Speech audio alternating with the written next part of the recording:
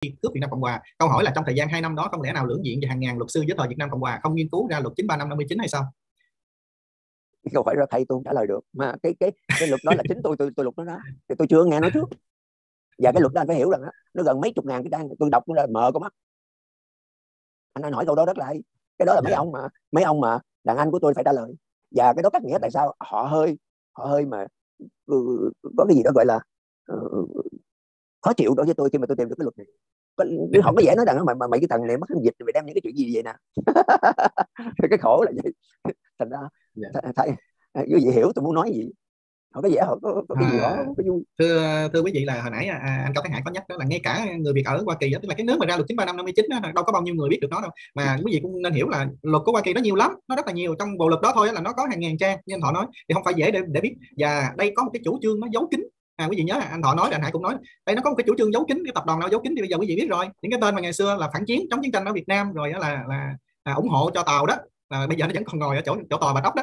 Thì à, họ còn đó mà thì họ phải giấu kín thành ra rất là khó. À, tuy nhiên ở cái cái nhìn ngược lại thì à, những um, nghị sĩ và dân biểu của Việt Nam Cộng Hòa những luật sư của Việt Nam Cộng Hòa thời đó chúng ta phải thừa nhận với nhau rằng đó là họ chưa có làm tốt công việc của mình làm tốt cái chức trách của mình. Bởi vì á, ngay trong cái uh, cái hiệp định Ba Lê năm 1973 thì quý vị thấy người Mỹ họ đã cho thấy cái ý định ký hiệp định này từ những năm 1968 69 tức là năm 1968 sau Tết Mậu Thân là phong trào phản chiến nó đã lên cao. Tết Mậu Thân nó đã khiến cho cái cái cái cuộc chiến Việt Nam nó làm cho cái phong trào phản chiến nó nó có nó có sự thuyết phục đối với người dân bởi vì người ta nhìn thấy chiến tranh nó nó không có hồi kết. À, lực lượng Việt Cộng sao mà nó quá đông? Người ta thấy sao đánh gì mà nó đông quá từ trong dân nó chui ra nó đánh kiểu nó đánh biết khi nào kết thúc. Thì cái phe phản chiến nó thuyết phục được người ta. Thì Hoa Kỳ nó đã muốn rút quân rồi. Nhưng mà từ mãi năm 68 cho đến năm 73 hiệp định Ba Lê ký suốt mấy năm đó thì những nhà lập pháp của chúng ta không có vận động cho được một cái bộ luật nào của Hoa Kỳ để bảo trợ cho Việt Nam Cộng Hòa giống như người Đài Loan đã làm. Đài Loan họ hoàn toàn giống chúng ta họ bị xâm lược họ chạy ra đảo để họ lập quốc nhưng họ có hai bộ luật bây giờ là bốn rồi. Bốn bộ luật của Hoa Kỳ để bảo trợ cho họ thành ra họ không bị xâm lược rất là nhiều anh chị em nói là thằng tập cận bình sẽ nổ súng xâm lược đài loan tôi nói với các anh chị á, trừ khi nào toàn bộ nước mỹ rơi vào tay đảng dân chủ à, rơi vào tay obama thì chuyện đó mới xảy ra. Còn ở nước mỹ vẫn còn 50 50 vẫn còn những người cộng hòa ngồi đó thì không thể nào có chuyện mà tập cận bình nổ súng đâu tại vì những cái luật đó nó đã có hiệu lực nó vô thời hạn. Mỹ nó bảo vệ đài loan nó chỉ cho dễ hiểu đi thì không ai nổ súng xâm lược đài loan được. Nhưng mà tiếc rằng việt nam cộng hòa chúng ta thời đó không ai làm điều đó. À, các à, thượng nghị sĩ các dân biểu các luật sư những nhà ngoại giao đặc biệt là những nhà ngoại giao của chúng ta bỏ cái cái chính trường của của hoa kỳ bỏ bỏ hỏng luôn không có vận động. Rồi á, khi à, tổng thống hoa kỳ rút quân chúng ta không vận động một cái hiệp ước đồng minh à, không có cái hiệp ước đồng minh để cho Hoa Kỳ và Việt Nam Cộng Hòa à, tương trợ với nhau về mặt quân sự. Khi có hiệp ước đồng minh thì làm gì có chuyện mà, mà liên quân của, của tổ quốc tế cộng sản xâm lược Việt Nam Cộng Hòa mà Hoa Kỳ đứng ngoài quý vị thấy rõ ràng không? Tại vì à, tổng thống Hoa Kỳ bị ràng buộc bởi cái đạo luật K-Just Amendment à, trước năm 1974 là nó bị cái đạo luật đó tổng thống Hoa Kỳ không tự ý phát động một cuộc chiến tham gia vào cuộc chiến nào ở Đông Nam Á trong đó có chiến trường Việt Nam à, mà không thông qua quốc hội mà quốc hội thì do đảng dân chủ kiểm soát. Thành ra khi đó thằng Tàu nó xâm lược Hoàng Sa năm 74 quý vị nhớ à à, thì không can thiệp được. Tại vì can thiệp mất xin quốc hội mà xin cũng như không là xin tiền anh hải nói xin tiền nó còn không cho mà chứ đừng nói xin đánh lộn sao nó cho? Rồi tới năm 75 tôi nó xâm lược Sài Gòn thì tổng thống cũng đứng ngoài luôn tại vì đảng dân chủ nó kiểm soát lưỡng diện xin nó cũng đâu có cho. À nhưng mà nếu như Việt Nam Cộng Hòa có một hiệp ước đồng minh với Hoa Kỳ thì không cần xin bởi vì đánh đồng minh là đánh Hoa Kỳ. Cái gì hiểu cái, cái hiệp ước đồng minh nó quan trọng như vậy đó. Đó là lý do vì sao NATO nó là đồng minh của Hoa Kỳ. Nó nó ghét Hoa Kỳ cỡ nào nó cũng phải làm đồng minh với Hoa Kỳ. Bởi vì nghe hay là ai đó có đánh NATO thì Hoa Kỳ nó nhảy vô à, thành ra chúng ta đã bị bỏ lỡ một cái hiệp ước đồng minh với Hoa Kỳ. Trong lúc đó tôi, tôi nói thiệt suy luận một cách bình thường thôi. Hoa Kỳ nó muốn chạy mà. Nixon muốn rút quân để làm gì? Để tái đắc cử bởi vì cái phong trào phản chiến ở Hoa Kỳ nó quá mạnh. Anh chỉ cần tuyên bố tao đắc, đắc cử tao rút quân thì anh anh đậu chắc rồi đó. Tại vì cái thời đó dân họ muốn như vậy mà. Thành ra nó muốn rút quân để tái đắc cử. Thì à, lúc đó chúng ta hoàn toàn có thể đặt ngược lại. Ok tôi ngay từ đầu tôi cũng muốn anh đâu có tham gia đâu. Ông diệm ông đâu có muốn anh tham gia đâu. Ông diệm ông nhu đã nói rồi mà. Thì ok tôi muốn anh rút quân nhưng mà anh ký cho tôi hiệp ước đồng minh. Thì có phải là Nixon với bộ sở Kissinger ký cái rọt liền nó chỉ chủ yếu là nó rút quân thôi mà nó ký là nó rút quân mà nó đặt ngay lập tức. Thì khi đó chúng ta không bị xâm lược, nó vẫn đạt được mục đích rút quân. Nhưng chúng ta không có hiểu gì về chính trường của mỹ. Chúng ta nghĩ là mỹ không bao giờ bỏ chúng ta đâu. Cho tới thời điểm này rất là nhiều người đã hối hận bởi vì suy nghĩ đó. Mỹ không bao giờ bỏ chúng ta đâu. Xin lỗi quý vị à. Nó hỏi tuốt cái trời đó nhật nó còn bỏ cái gì đừng chúng ta. Rồi cái điểm quan trọng nữa mà tôi cũng cũng muốn nhắc, đó là cho đến thời điểm này thì các nhà ngoại giao của chúng ta à, ngay cả trong chính phủ pháp định, các nhà ngoại giao của chúng ta lại không hiểu về chính trường mỹ, không hiểu về cái tầm quan trọng để lobby chính trị Mỹ, không hiểu về chính trị dòng chính của Mỹ và các quốc gia tự do nó quan trọng như thế nào đối với đất nước của mình. Thành ra họ ngồi không, họ không có vận động gì hết họ ngồi họ không có làm một cái động thái nào để cho cái lợi ích của quốc gia Việt Nam Cộng Hòa được nâng lên một cách mà mà xứng tầm trong khi chúng ta đang cần điều đó hơn bao giờ hết. Thì đó nó đặt ra cho các bạn trẻ một một cái vấn đề mà tôi nghĩ rằng nếu nếu được các bạn à, hãy liên lạc với anh Cao Thái Hải tại vì đó chính là con đường anh Hải đang đi. Đó là gì? Đó là đi vào dòng chính của chính, chính trị Hoa Kỳ. Khuyến khích cho các bạn trẻ đi vào dòng chính của chính trị Hoa Kỳ. Khi các bạn đi vào dòng chính các bạn hiểu nó rồi thì các bạn hiểu phải làm gì để tối đa hóa lợi ích cho quốc gia của mình ở bên, bên kia đại dương kìa. Còn nếu không các bạn bỏ lỡ là các bạn thua rồi. Ở bên kia nó chuyển biến cứ hai năm một lần à, rồi bốn năm một lần nó chuyển biến hoài rồi chúng ta bên kia chúng ta cứ Hoa Kỳ không bỏ chúng ta đâu là chúng ta chết chết ngay lập tức. Thì đó là cái mà tôi à, tôi khuyên các bạn trẻ nên rút kinh nghiệm trong cái thời gian sắp tới bởi bạn các bạn chính là tương lai của Việt Nam. À, bây giờ chúng ta đi vào phần cuối cùng của chương trình. à, phần, à, anh cho tôi trả lại cái vấn đề mà công nhận. Ok cái cái vấn đề dạ, cái anh bạn nói về công nhận. Thì bây giờ đó về lý thuyết.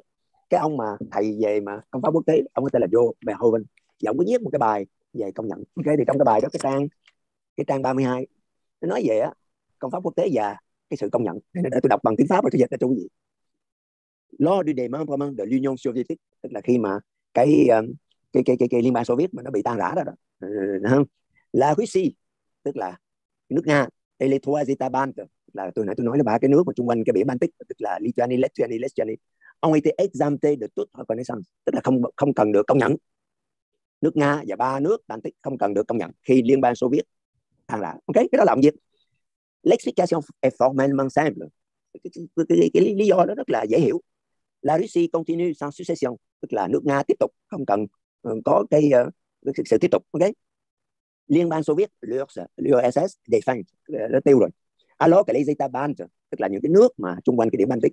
De 1991 sont jugés identiques à l'Estonie, à la Lettonie, à la Lituanie de l'Union soviétique annexée à, à, illégalement en 1940 tức là nói rằng ba cái nước Baltic nó là ba cái nước bị Nga chiếm đóng năm 1940 chính vì vậy không cần được công nhận thì bây giờ đó nếu chúng ta đem áp dụng cái lý luận của ông này vô cho Việt Nam Cộng Hòa thì khi nào đó mà có dịp Việt Nam Cộng Hòa đứng dậy thì Việt Nam Cộng Hòa là cái nước mà bị tụi cộng sản nó chiếm đóng thì đâu có cần gì phải công nhận nữa.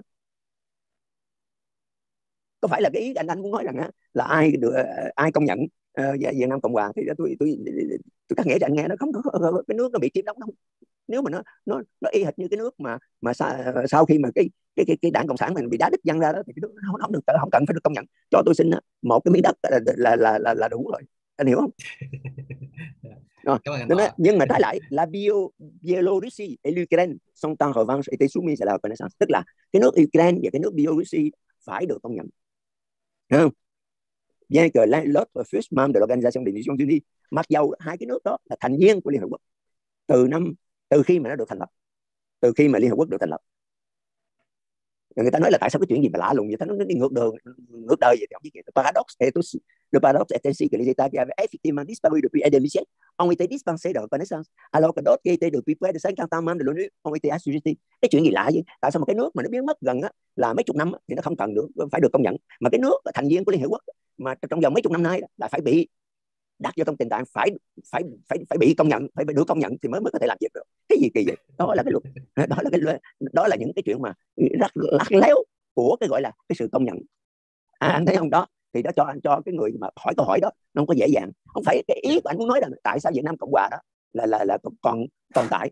Thành ra đó vì nó nó, nó nó nó phải chứng minh anh thấy là nó được công nhận cho nên nó mới còn được tồn tại. Cái đó là hoàn toàn sai.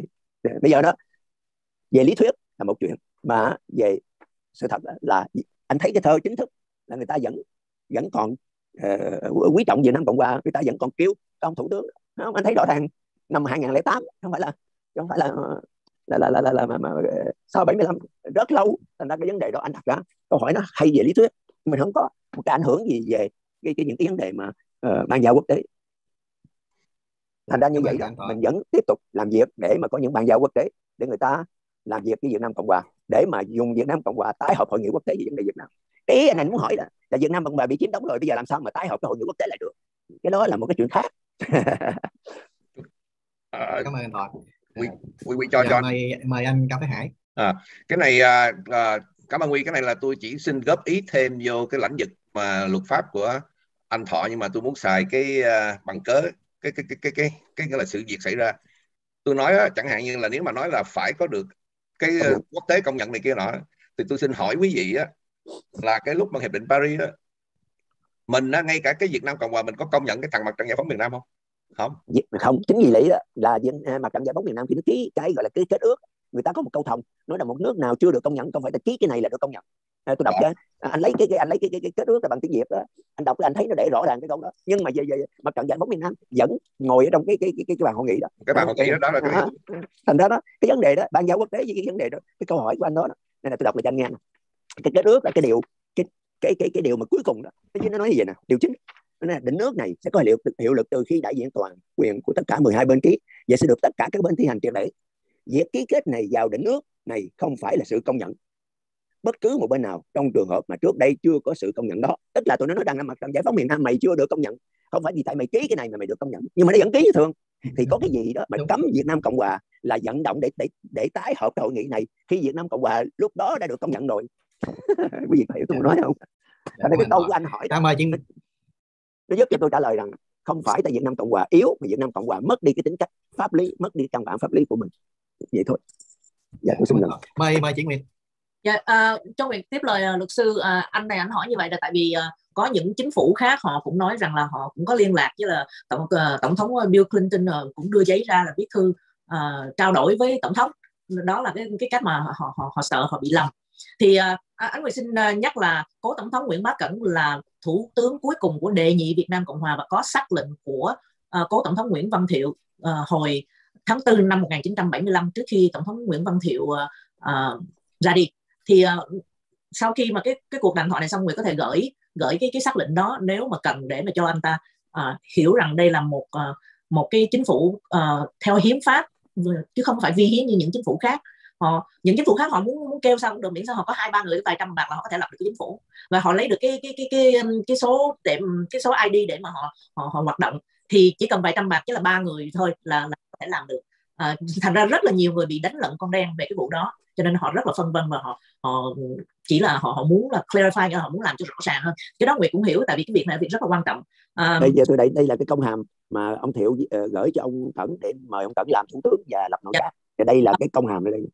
Dạ. và chính à, cái công hàm này đó đã giúp chúng ta nộp cái hồ sơ thèm lục địa vô trong cái quỹ ban định danh để thèm lục địa của liên hợp quốc. Cái công hàm này đã, đã được đã đã được nạp gì đó. Khi mà uh, nạp cái này đó người ta nói rằng là với tư cách gì thì ông cần phải chứng minh rằng ông là thủ tướng cuối cùng hợp pháp và hiến của Việt Nam Cộng hòa và uh, sẵn đây cảm ơn anh Thọ sẵn đây sao anh anh nói gì anh cảm ơn anh Thọ à, okay, mà okay, sẵn okay, đây okay. cũng uh, muốn uh, tiếp lời Nguyệt để nói cho rõ đó. ngoài cái chính phủ pháp định đó những cái tổ chức khác họ không phải là chính phủ theo cái, cái định nghĩa mà nãy mình nói chánh quyền cái tà quyền từ đầu cái buổi hội luận này á dạ đúng họ chỉ là tự kêu họ là chính phủ đúng. À, dạ. Việt, Việt Nam cộng hòa lưu vong rồi nhưng mà họ không phải là chính phủ dạ cái đó là chính phủ tự phát à. Tự xưng chính phủ tự, tự xưng. đó. tự xưng. Dạ. Cảm ơn chị Nguyệt cảm ơn dạ. anh Hải. À, thưa quý vị à, cái chỗ này là chúng ta đúng như anh Hải xác định đó là chúng ta cần nói thêm á Hoa Kỳ nó là một nước rất là tự do. Quý vị có thể thành lập bất cứ hội đà uh, hội đoàn đảng phái cái gì cũng được hết á. Quý vị uh, quý vị chỉ cần tổ, thành lập một cái tổ chức phi lợi nhuận à, thì uh, quý vị thậm chí còn có thể trốn thuế được nữa. Ở Mỹ là nó có nó tự do lắm các anh chị tại nó có những cái tu chánh án đưa tuyên án đầu tiên là bảo vệ quyền tự do đó. Thành ra trong đó có một cái loại là tự do thành lập các tổ chức mà muốn đặt tên sao đặt tên thì uh, mấy ông cố nội nhà mình đó mới qua bển á tôi nghĩ là chắc cũng cũng có ăn thành ra là đặt tên là chính phủ. Bạn mỹ nó đâu có quan tâm đây các bạn có đặt tên chính phủ gì được các bạn hứng lên đặt tên là chính phủ à, mà cộng hòa lâm thời quần xà lõn nó cũng cấp luôn nó cũng để nguyên cái chữ quần xà lõn cho dấu đàng hoàng cho các anh chị luôn. Thì các anh chị về nói ở việt nam ơi tôi tao là tổng thống quần xà lõn đây thì người việt nam mà ai mà tin thì theo quần xà lõn thôi. Rồi cái, cái thằng kia nó nói quần xà lõn nghe nó kỳ quá tôi bây giờ mình đổi lại đi quần đùi đi. À, cái thì làm thời gian sau nó ra tổng thống quần đùi. Thì à, thì có một số người theo tổng thống quần đùi. Quần đùi nó kỳ quá thôi quần cột đi. À, quần cột nó lại có tổng thống quần cột đó là lý do vì sao tổng thống nhiều như vậy.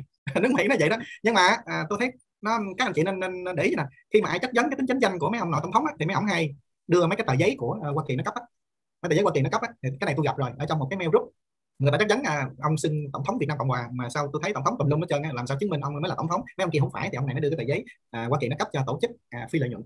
Uh-huh. cái tên là tổng thống cái tên là chính phủ Việt Nam Cộng Hòa đàng hoàng ở dưới có, có con dấu có tên tổng đại diện đàng hoàng. Nhưng mà quý vị nên nhìn kỹ à cái cái cái chức danh đại diện đó, đó nó không phải là chức danh tổng thống mà nó là chức danh chủ tịch quý vị nên phân biệt hai cái hai cái chức danh nó khác nhau chủ tịch của tổ chức phi lợi nhuận nó khác với tổng thống của một nội các cái cabinet president of cabinet hoặc là uh, prime minister of cabinet nó khác là president of organization. Hai cái đó nó khác nhau mà. Cái cái giấy phép mà organization nó khác. Chính phủ Hoa Kỳ nó không có quyền cấp phép cho uh, government không có quyền đó. Nó chỉ có quyền cấp phép cho organization thôi. Thì tức là cái tổ chức của người dân tổ chức ra thì nó cấp phép. Còn government tức là chính phủ do người dân bầu Hoa Kỳ nó đâu có được quyền cấp phép. Nó đâu có được quyền công nhận à nước Campuchia tao cấp phép cho mày là chính phủ Hun Sen là do Hoa Kỳ cấp phép. Cái vậy? Cái chuyện gì Hoa Kỳ khó vậy cái tập cận bình ơi Hoa Kỳ cấp phép cho mày à, cái tập cận bình nó nói đây tao là chính quyền đây tao được ông bảy đành cấp phép cho tao. Không chừng nó bảy đành nó làm thiệt. Nó nghe cái lại này của tôi nó vậy nó làm thiệt. Nó cấp phép cho bảy đành giết lú chắc mình chết. Cấp phép cái là tụi nó là chính phủ thiệt sao? Đâu có chuyện đó các anh chị. Chính phủ là do dân bầu. Mà dân bầu à, à, chị cho nói cho, cho nói cho hết cái phút này tôi chỉ nha. À, dân bầu ở Mỹ á, là nó bầu theo thể thức cộng hòa liên bang. Đây là nó bầu theo theo thể thức không phải là phổ thông đầu phiếu mà nó bầu theo người ta gọi là cử tri đoàn á. Cử tri đoàn á à, nó bầu theo thể thức đó là cử tri đoàn nó đếm số phiếu. Nó mới bầu ra tổng thống à, cái đó là cái thể thức của Mỹ. Còn cái thể thức của Việt Nam Cộng Hòa chúng ta thì được bầu theo thể thức phổ thông đầu phiếu theo liên danh. Liên danh nào cao nhất thì thành lập cabinet. Thì liên danh cuối cùng được chúng ta bầu theo hiến pháp Việt Nam Cộng hòa 1967 chính là liên danh của ông Thiệu và ông Kỳ liên danh của tổng thống Thiệu và phó, phó tổng thống Kỳ. Liên danh đó à, đã trúng cử bầu cái cabinet. Thì ông tổng thống Thiệu á ông bổ nhiệm ông thủ tướng ông, ông chỉ định. Ông chỉ định ông Nguyễn Bá Cẩn dạ. thành lập. Ông Nguyễn Bá Cẩn là thủ tướng. Đó là lý do vì sao nãy anh thọ đưa cái văn bản mà Canada nó gọi là thủ tướng Nguyễn Bá Cẩn đó. Tức là cái gì nó cũng phải hợp hiến và hợp pháp à và nếu như quý vị tìm thấy tất cả những ông tổng thống mà quý vị mà hồi nãy giờ nêu ra đặt câu hỏi á, có ông nào mà được ông tổng thống thiệu bổ nhiệm chỉ định là ông đó là thủ tướng thì tôi công nhận ông đó là thủ tướng Việt Nam Cộng Hòa. Bất cứ ông nào. À, còn nếu không có thì được không có thì không. Thì là là một tổ chức thôi organization thôi tổ chức gì cũng được miếng đặt tên gì cũng được. Đó là cái à, cái ý kiến thôi do mà chuyên nghiệp. Ok, uh, cho mình nói thêm rõ là khi mà bạn lập ra một cái organization đó là một cái um, giống như Huy nói á, thì cái người mà um, có thể là họ là kêu bằng president, CEO president đó của một, một cái hội đó đó, ok, thì mấy ông này chắc là dịch từ president của một cái hội nhóm thành là president của một một chính thể một một nước Việt Nam Cộng Hòa tôi gọi là hiếp hiếp danh chữ nghĩa. Thôi hiểu 50 50 thôi thành ra hiếp danh chữ nghĩa là giống như cộng sản. Cảm ơn chị. À, bây giờ chúng ta đến với um, bạn Khương. Và bạn Khương có bất cứ câu hỏi nào cho chủ đề ngày hôm nay à, với các diễn giả không ạ? Chúng ta đi vào phần kết